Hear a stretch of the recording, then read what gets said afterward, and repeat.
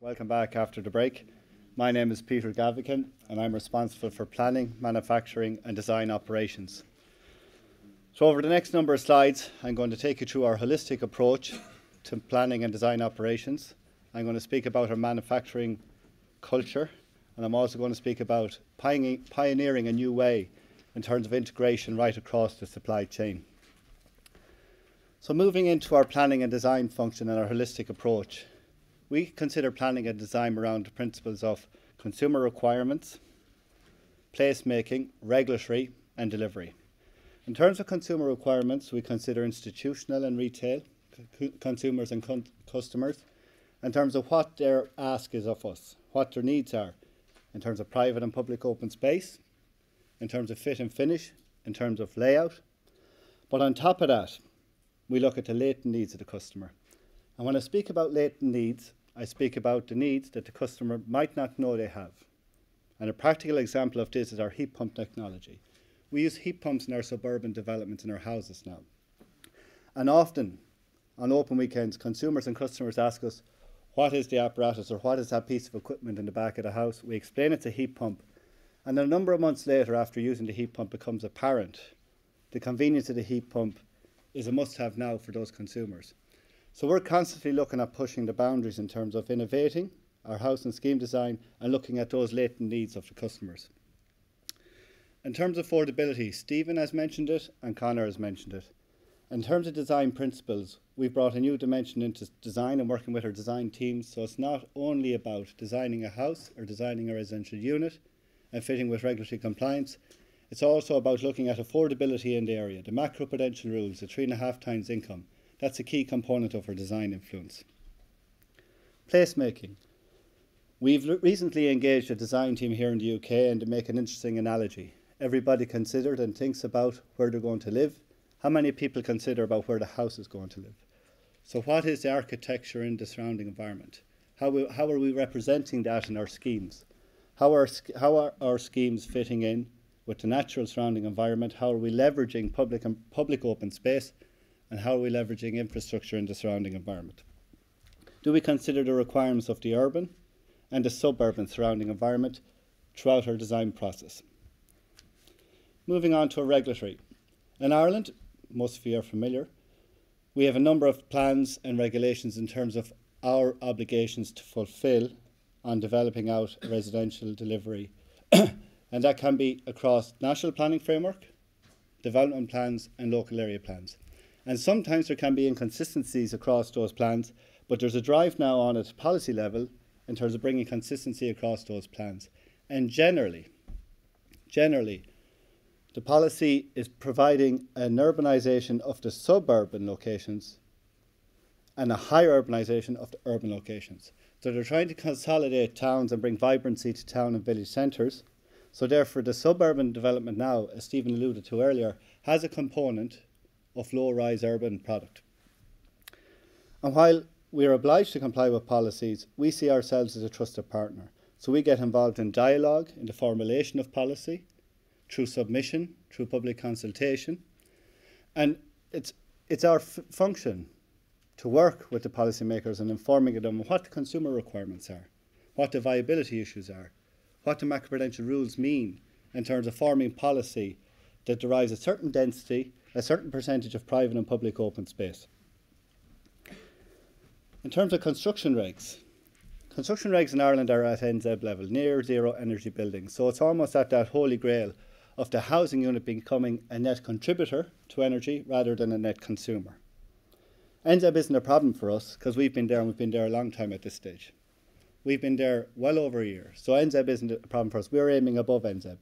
What does that mean for us? What do our design teams need to engage now in terms of bringing our houses above NZEB, our residential units above NZEB? What does that mean for our construction teams? The reason we're at NZEB at the minute is because Tony and Fergus, who you'll hear from shortly, their meticulous attention to detail means cold bridging, air tightness, etc., is robust in our housing developments. So we're pushing the boundary to go above our NZEB, which leads on to delivery. In terms of delivery, manufacture and assembly is a common, a common word um, across industry at the minute. Um, so our design teams automatically will accommodate manufacturing assembly. And Stephen spoke about earlier spoke about manufacturing earlier. Our manufacturing at the moment is in terms of timber frame and moving on to 2D steel, which Fergus will speak about in his urban apartments. In terms of that manufacturing piece, we have supply agreements with our manufacturing partners. So our design and our design influence right across the housing units and the scheme layouts will firstly drive efficiency in the manufacturing operations and those manufacturing partners that we have supply agreements with. So we consider manufacturing and assembly as as a key component of our design suite. Also in terms of layout, layout is very important to us, and layout is very important in terms of getting a, a good return on capital employed. How can our construction teams work to get proper layout, proper phasing, proper phasing moving throughout the development? How can pedestrian traffic and construction traffic coexist safely on our site? You saw the emphasis by Stephen on safety. Safety is critically important. So our design teams are challenged looking ahead and see how that layout function works. Something I want to speak about is ground. A lot of innovation in recent times in housing has gone into the product itself and the NZEB um, level of, of, of almost passive now, indeed, insulation. We're looking now at ground, and we're looking at ground in terms of how ground can work better for us as a business how ground can add value, value to the consumer or value to the bottom line of our company. In terms of the regulatory requirements, as I spoke about, there's a certain density that you that the planning authority will determine you must make. There's a certain amount of public open space and a certain amount of private open space. And then there's ground. So what ground is left over? What can we do with that ground? In the traditional component type that's used in Ireland, the three bed semi, the two bed townhouse, the terrace unit, and the apartment product. Typically, in suburban developments now, you're looking at a split of 55% suburban type product and 45% urban type product because you must meet a density while maintaining your private and public open space. So we're re- looking really hard at that and we're looking at what if we don't use a traditional product that, that, is in the sector? What, what about we use a product that will tap into the latent needs of the consumer that I spoke about earlier? and a product that will satisfy the needs we know that exist. And those needs we know because that comes back to our sales team from Ronan McKenna that's here with us today. So we're innovating that product type, and the first release of that will be tomorrow. Um, back into us to see what that looks like with our construction team and with our viability team. But it means we're pushing that 55 45% split. We're pushing that now to 75 25. So 75% of a suburban product in a suburban location and 25% of an urban product in a suburban location. And that's a real game changer. In terms of our design teams, our design teams have been challenged now, not only in terms of designing and delivering units according to regulatory requirements, but designing within the set of commercial parameters, designing to make sure that delivery of that unit makes an exit less than three and a half times income in that area. Design has gone beyond just designing houses for the sake of regulatory compliance designing on standardisation and making sure that those designs work for our construction team. Moving on to standardisation. Standardisation is a potentially dangerous word in terms of the perception of it. Is the perception of standardisation, does that mean there's going to be standardised housing developments produced by Glenveagh? Not at all. We bring standardisation to component level, we bring standardisation to standard specs, we bring standardisation to standard housing layouts but we do not have standardised housing developments. They are contextually different in every case and sympathetic to the environment that they are in. To coin a phrase from Stephen, Volkswagen use a similar chassis for, for their Golf, for their Jetta, for the Tiguan, but they're different cars. Similar approach with ourselves. We've standardised housing floor plans, standardised specs, standardised components, but we've different outputs. While we believe there are efficiencies in standardisation, there's no doubt, it's also incumbent upon our manufacturing partners to drive efficiencies in their business. And then we're maximising efficiencies. Efficiencies on the standardisation of layouts and housing units will get you so far. The manufacturing business, by adopting manufacturing approaches on just in time inventory management, single metal exchange, and die, that will drive the efficiencies even further. And I'm going to speak to you about that shortly. So, the challenge on standardisation develop our standardised suite of components. Make sure we're compliant with the regulatory requirements of the planning authorities. Make sure the planners in the planning authority and their subjective opinions accept that we're contextually different on our housing schemes and making sure our base case requirements on business in terms of margin and return on capital employed are maximised. Standardisation cannot happen and does not happen with the planning and design team alone. It happens with the input of construction, with sales, with our viability teams, and with our land management teams.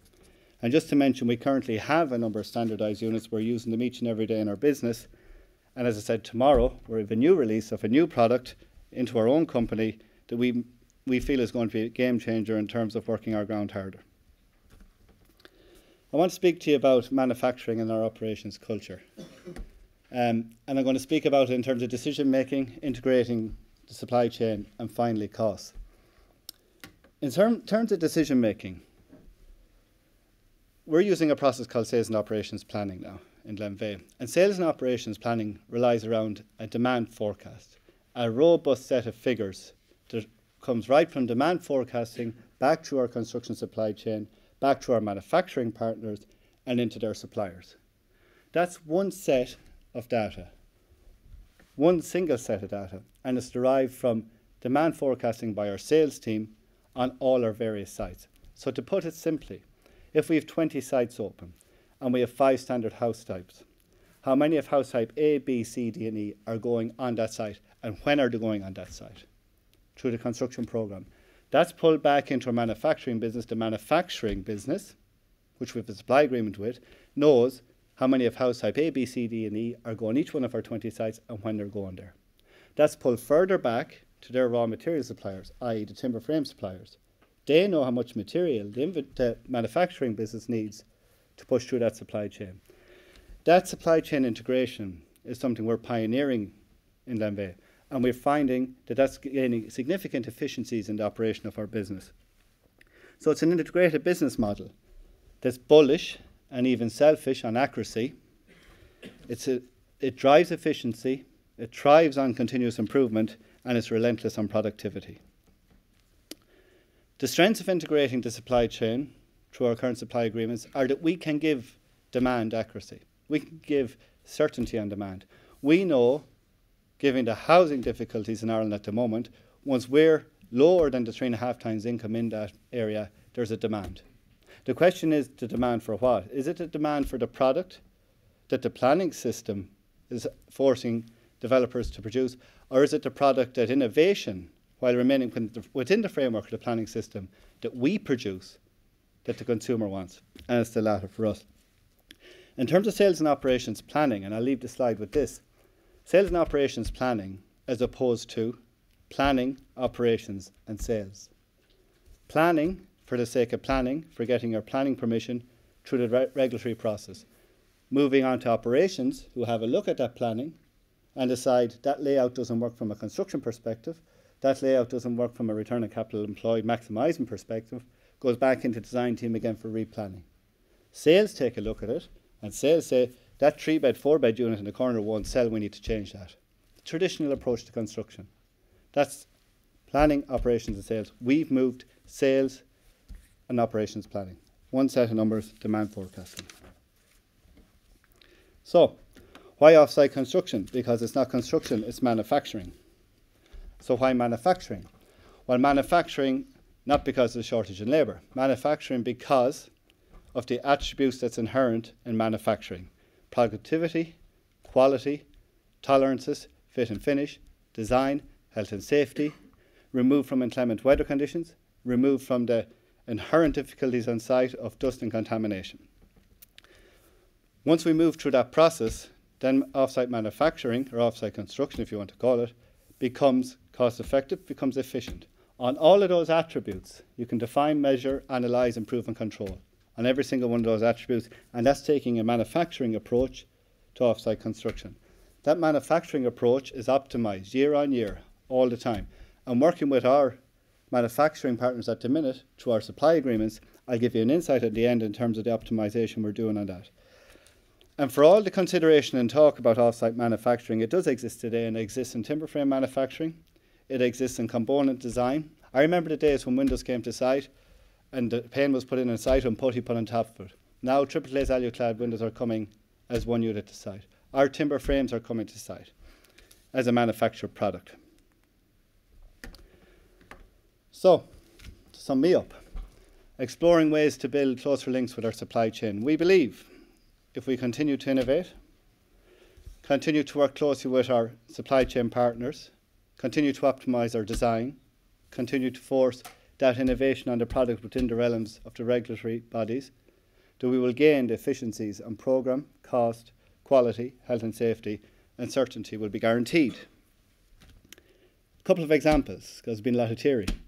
So, Keenan Timber Frame, who you've seen in a video already, they have a supply agreement with us, and in that supply agreement, we we share we share plenty of information, so we have a good idea on how their process operates. Okay, on that supply agreement, we've had our uh, procurement director get involved in negotiating some of the material prices. Richie Caldwell is here today. We've negotiated a 35% discount on insulation used in Keenan timber frame that's passed directly onto our bottom line. Why? Because we can give certainty in demand and volume across our supply chain. Another example with Keenan timber frame, their timber comes from, came from Scandinavia at a point in time. We went up, we looked at their manufacturing line, we made some improvements in terms of efficiency of product flow, but we also suggested, given that we are Irish and there's plenty of timber in Ireland, could we use some Irish timber? We visited a, an Irish supplier, and it now turns out the Keenan Timber Frame are using timber from an Irish supplier for the stud walls. In terms of that supplier of timber, of raw material, Keenan Timber Frame, the manufacturer, was amazed by the system control and data acquisition systems they had placed in, in, in their product line 100% monitoring on moisture control, 100% monitoring on, on, knots, uh, on, on knot content on timber. So the quality is exceptional. And the impact is profound in that the lead time on that timber now is a matter of hours, three hours down the road, as opposed to weeks from Scandinavia. The payment terms remain extended. So, in all fact, the fact of the matter is that timber is in through a manufacturing process on site and being constructed before it's been paid for. So, there's a couple of examples on our supply chain. I'll speak to you about a quarry, a disused quarry. Inert material being removed from site is something that is contentious at the moment in terms of Irish regulations to make sure there's no contamination leaving your site. So once soil and earth material is tested and it's proved to be okay, there are facilities that will take that soil off you. And that's a cost that we see rising. And Michael's going to speak to this shortly. We've bought a disused quarry, we're using that to take our inert material, so now we've hedged our costs on the exit side of that. If there's surplus capacity in that quarry in the future, we can op open it up to third parties and get a return on that. I've shown you integration from suppliers to our suppliers to an exit on inert material. And in the near future, we'll be making a significant announcement in terms of further integration and further innovation right across our supply chain. So I'm going to leave you on a quotation, and the quotation is disputed whether it's Darwin or Megginson, but it speaks about it's not the strongest or the most intelligent that survives, it's those who are able to change. And Stephen opened his presentation earlier today about changing and the structural changes and reforms that were across the construction industry. I've spoken about we've changed standard designs. I've spoken about we've new standard designs coming tomorrow. I've spoken about our sales and operations planning approach to our manufacturing business. I've spoken about our design teams. Our design teams challenge now from a procurement, from a commercial perspective, not only design. So finally, each day, each day in our business, we innovate, we integrate, we consolidate, and we win. So I'm now going to hand you over to Tony. Tony's going to speak to us about construction on site and the good relationships we have with our subcontractors.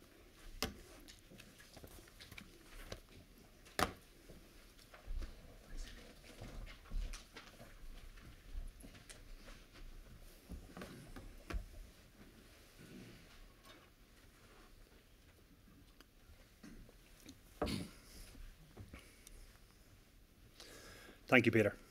I'm Tony McLaughlin, and I'm head of suburban delivery at Glenveagh. Today, I'd like to update you on the progress we've made on developing our supply chain and how we're implementing technology so that we can continue to scale our business. As Stephen has mentioned earlier, our construction delivery is split into two components suburban and urban. Why? Well, we recognise that the delivery of these two elements, as Stephen has touched on, require completely different skill sets and competencies. We know what our teams can do, we also know where we can make improvements to optimise and specialise within our business. We firmly believe in hiring the right people to do the right job and empowering them to get it done. Going forward, our suburban developments will centre around traditional, greenfield, low rise residential houses and apartments. We have and continue to complete high quality schemes of this nature, such as Cush Lawson and Taylor's Hill, which you've seen earlier in the videos. Our urban developments will focus on brownfield sites, providing high rise residential schemes. We've recently completed examples of these in Marina Village in Greystones and Herbert Hill in Dundrum. My colleague Fergus will go into further detail on these and a few more a little later. Key to our continued successful delivery is not only the 330 employees we have within the business, but also our supply chain of 2,000 people on an average day. The fallout from the recession saw much of the industry, the industry cha- supply chain overexposed financially. This, along with restricted credit in the market, meant that there were numerous stop-start developments, leading to a reluctance for subcontractors to scale and grow their business. At Glenveagh, we've taken a partnership approach with our supply chain. We provide them with clear, roadmap of annual targets across multi-phase projects. We can ensure consistent and coordinated work and give them the confidence to scale their business with us. Since IPO, we've put significant effort into growing our supply chain. We've worked hard with our subcontractors and now they understand and believe in the Glenveagh way. What is the Glenveagh way? That's our standard expectations, it's our processes, it's our procedures that we require across all of our sites. It includes site setup, health and safety, environmental requirements, procurement processes, our quality expectations, amongst others. With this in mind, I'd now like to show you a short video of how our partners view working with Glenveagh.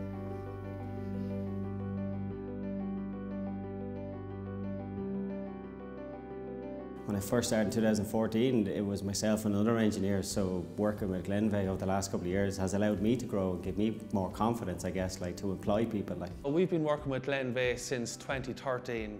Um, we would have been uh, probably only myself and two apprentices at the time. And then when things progressed and Glenveagh obviously expanded, our own company expanded.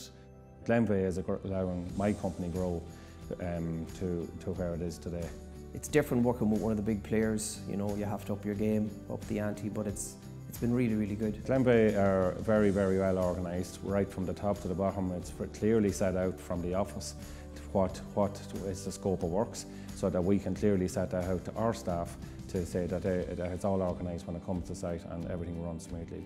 Well, I think Glenveagh really transformed the building industry in Ireland because of their approach to it. Uh, they have a dynamic team, um, they also have, uh, you know, they're very open to new, new suggestions and, and solutions on how, to, on how the building industry should, should progress to the future.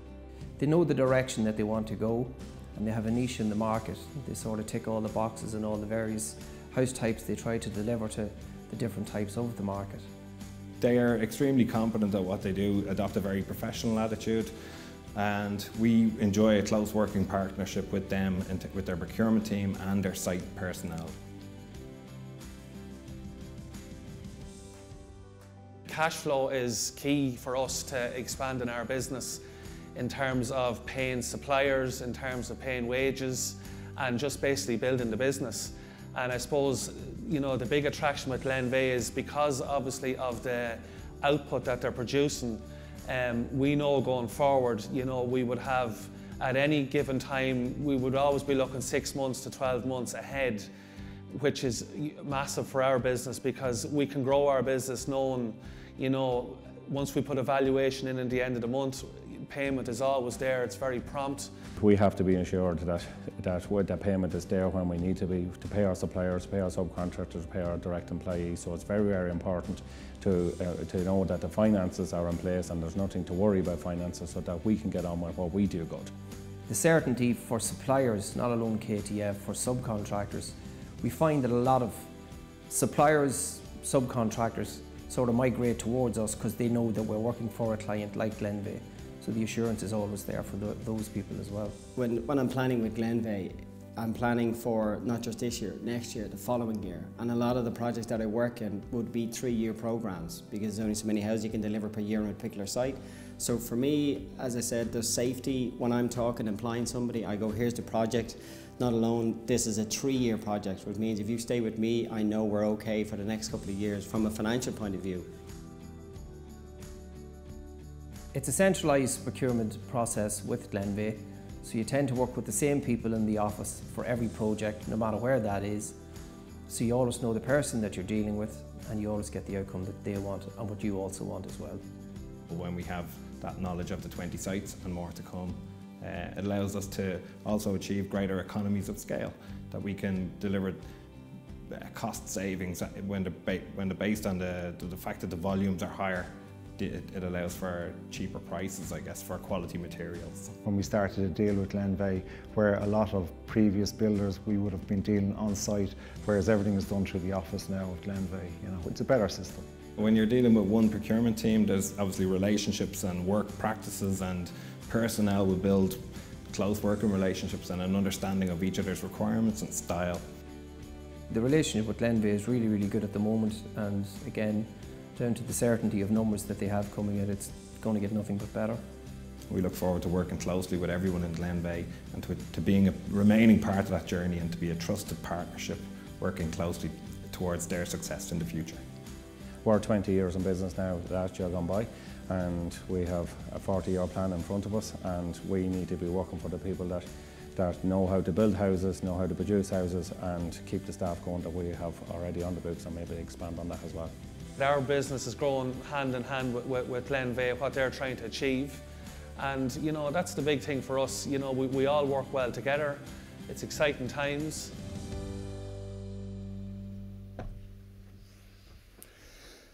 As you can see in the video, we work collaboratively with our subcontractors and they have a growing desire to work with us. One of the key areas that we focus on to enable them to scale is credit. To reduce the effect of restricted credit within the system, we've taken the decision to centrally procure all or majority of our high value items that we use each and every day. Items such as heat pumps, sanitary ware, insulation and plasterboard are, are free issued to our subcontractors so as to reduce their credit requirements.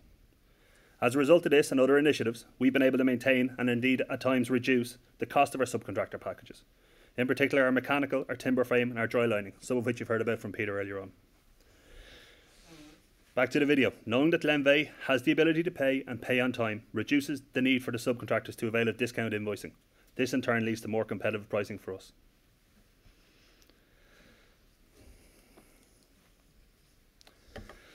Subcontractors are now targeting Glenveagh for business and they want to work with us.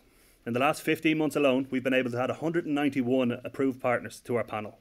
Put simply, this means that despite growing to circa 20 sites, we now have more people to pick from. To become an approved partner with Glenveagh, we assess a range of competencies, including health and safety, resources, quality, and previous performance, amongst others.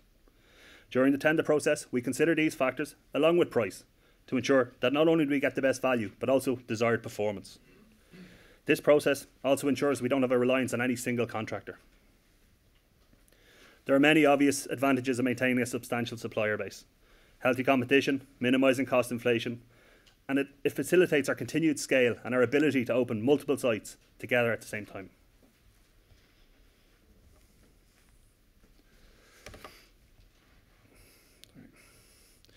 Our ambition and clear roadmap to scale gives us substantial opportunities for strategic partnerships and long-term procurement options. Our ability to both buy and enter into long-term agreements has multiple benefits. As Peter referred to earlier, by streamlining our specification, we now realise economies of scale. We can now provide higher quality premium products at very competitive prices, ultimately providing a better home for our clients. We can provide maintain we can provide maintenance plans and meaningful warranties for our customers, giving them further peace of mind with the sale of our homes. We can control material costs for the duration of projects and minimise inflation risk. Ultimately, we can maintain and manage a sustainable supply chain as we continue to grow. We have and continue to see the positive effect of this strategy, particularly in packages such as kitchens, appliances and heat pumps. At Glenveagh, we have a centralised procurement approach headed up by Richard Caldwell. As a result of his, of his hard work and the work of his team, we get the benefit of a portfolio focused strategy and avoid a silo approach from any particular site. We plan just in time deliveries to manage logistics and help minimise our, our carbon footprint. Where possible, we work with local suppliers so that we can provide local employment. For our suppliers, the knowledge that Glenveagh has the ability to pay and pay on time reduces their requirement for credit insurance, and this encourages more competitive pricing also. Along with a sustainable supply chain, we're utilising technology to enable continued growth and actively manage cost, quality, health and safety and programme. Our aim is for a more connected construction, as I hope you'll see in the following video.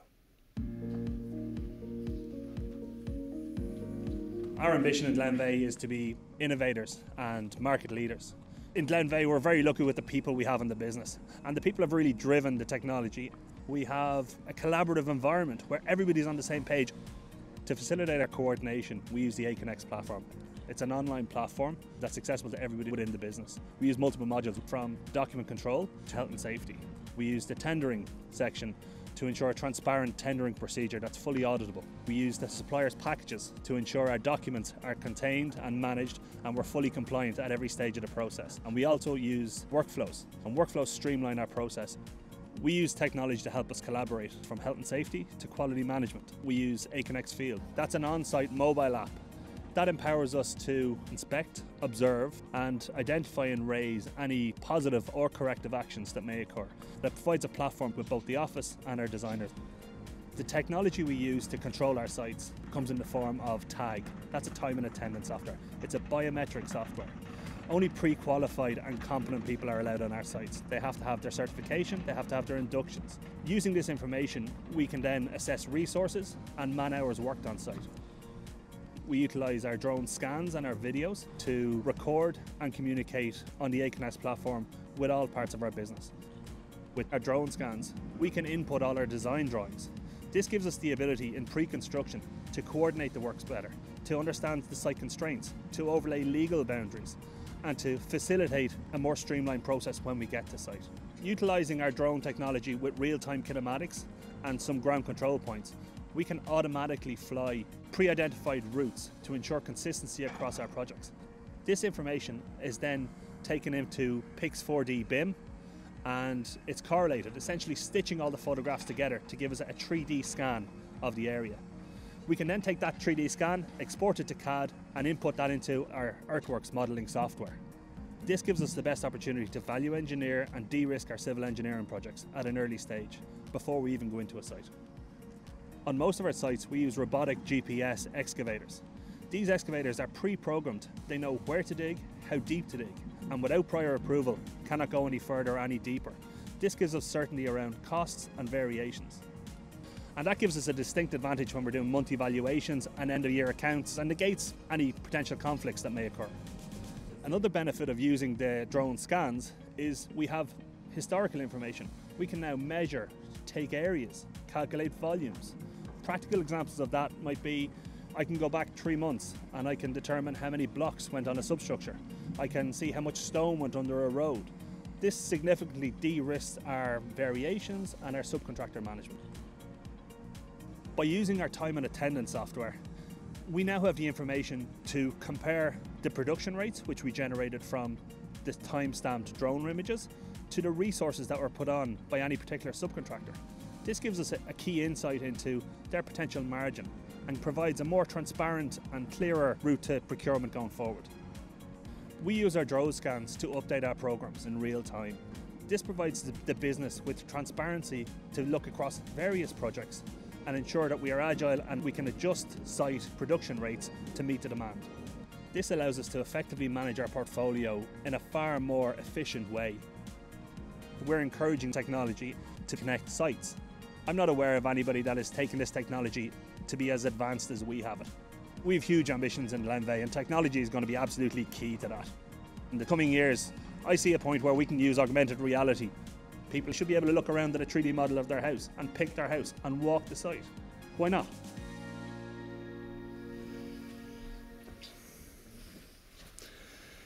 As I mentioned in the video, we currently have our drone surveys integrating with our modelling software to ensure that we we incorporate the best value solution from the outset of a project.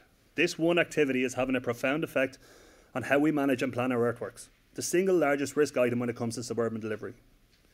We've embraced technology. It helps us shape how we operate and grow our business, helps us communicate, manage, and monitor our sites. We can now coordinate our portfolio and more accurately plan for the future. This, alongside a solid, sustainable supply chain, position us well for, for the ambitious but achievable growth and expansion that Stephen has outlined earlier. I'd like to thank you for your time, and now I'll hand you over to Fergus Boyle, who will talk to you about our delivery capabilities for our urban developments.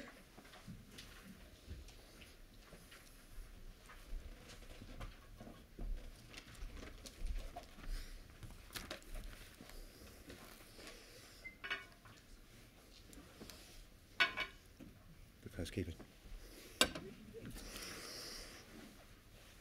Thank you, ladies and gentlemen. Um, my name is Fergus Boyle. I'm Construction Director for the Urban Developments with Glenveagh.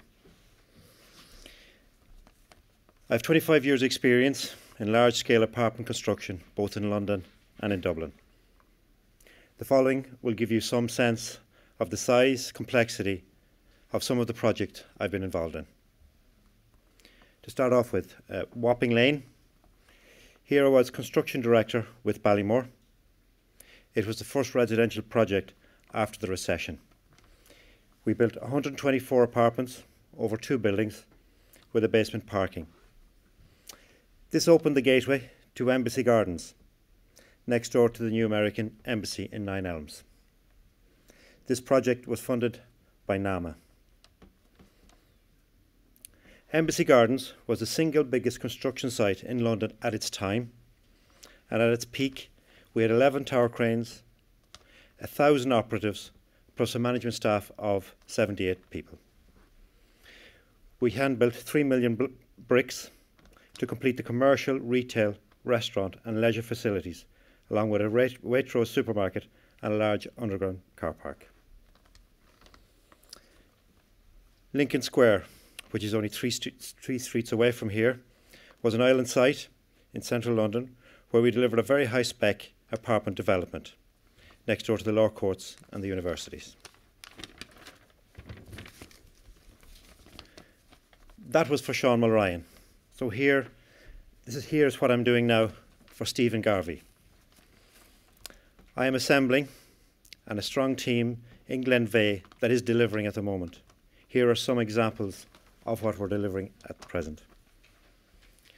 Herbert Hill in Dundrum, this 90 unit apartment scheme was completed in quarter three last year, including full fit out with furniture and all white goods. The scheme was sold to Realis, Realis Investments and handed over following a snagging process which was completed over a short period of two weeks, uh, showing the quality of the product that we had achieved on that job. Marina Village Greystones, this 210 unit development constructed on public lands, and we are engaged and working closely with the local authority on this project. The first block of this coastal development was completed quarter four 2019, and the balance of the project is due for completion at the end of this year. This project also has a large public park and coastal walkway. Adelaide Road in Bray, this 71 unit development, commenced in quarter three 2019. The structure is now up to second floor. All packages and subcontractors are procured, and we are expected to complete this project in quarter one 2021.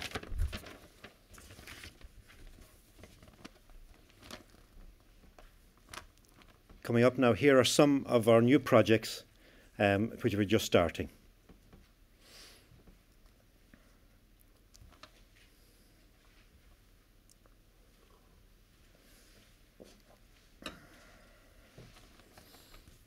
Eden and Cork. We are breaking ground on this 271 unit apartment complex in March. The plan is to build this to, to build the Undercroft car park up to podium level in traditional uh, concrete construction. Thereafter, we are considering the 2D building of the apartments themselves, which Peter alluded to earlier on in his presentation. Dublin Docklands. This multi unit scheme with two hotels, office block, and 1,150 apartments. This is very similar in scale and size to Embassy Gardens, which we referred to earlier on in my presentation. Enabling, enabling works has commenced on this project, and full construction will ramp up in Q2 this year. In addition to Glenveagh's procurement team and existing and existing subcontractor base, it is my intention to bring expertise in from the UK we are currently negotiating with formwork, bricklaying, and drylining contractors, all of whom I've worked with previously and who have a wealth of experience and proven track record in their respective fields and are enthusiastic about the prospect of expanding their operations into Ireland. Castleknock in Dublin. This city centre site is located near the Phoenix Park, the largest enclosed par public park in any city in Europe. This 190 unit scheme will start in 2021 and we've already started looking at the buildability of this project. Cork Docklands. This is the first development in the Cork Docklands. As you enter the city, this Glenveagh development will be the key landmark on the horizon. This high rise gateway includes offices, commercial buildings, and a hotel. 1,100 apartments will form part of this development.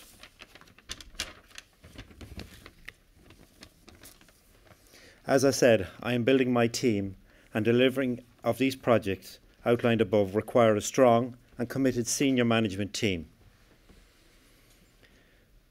Brendan Corcoran has an, an established track record and delivering projects with Glenveagh and has recently been appointed as Senior Contract, Contracts Manager on the Bray and Greystones projects. Joining me from the UK are Kevin Delaney and Brendan Cohen. Kevin, who was a Senior Contracts Manager, sorry, Kevin, who will be the Senior Contracts Manager on our Docklands project, has worked alongside me in Ballymore on Embassy Gardens project. Brendan Cohen also has considerable management experience in London apartments, has just completed 250 City Road with the Berkeley Group. Brendan will head up our Cork projects. My senior management team, with a wealth of experience and track record at home and abroad, gives Glenveagh a sizable advantage in establishing reputation as a key player in the apartment building market in Ireland. The apartment market is a great opportunity for Glenveagh, and I am very excited to lead it for Stephen.